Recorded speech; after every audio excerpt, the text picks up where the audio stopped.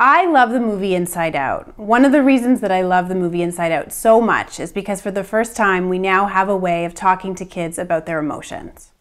The movie Inside Out depicts five core emotions joy, anger, sadness, fear, and disgust. And the way that it does it, it brings these emotions to life for kids and it really shows them how their brain works. After I'd seen the movie, I ran out and bought some toys that represented the emotions from the film because I thought that this was definitely going to be a way that I could bring some of these emotions and the discussion of the emotions um, to my clients in an accessible way. So usually I have these out on the counter in my office and what I find is that kids gravitate to them right away. So one of the things that I often ask kids to do is to tell me, who do you think is most in charge of your headquarters most of the time?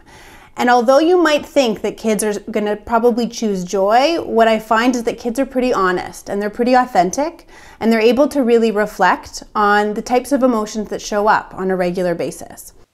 Often they identify anger as someone that's constantly showing up and trying to boss them around.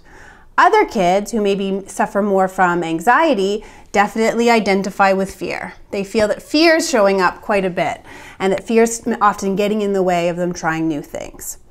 The other key emotion that kids really seem to like from the movie, but often find more difficult to talk about in real life, is sadness.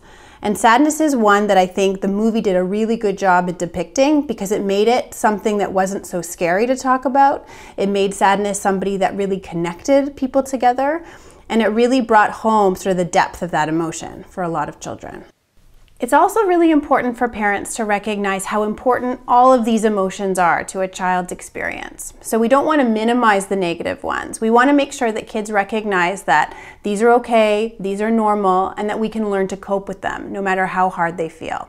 So one of the things that I always recommend is to try to be able to sit in the mud with these emotions, not try to pull kids out of them too quickly.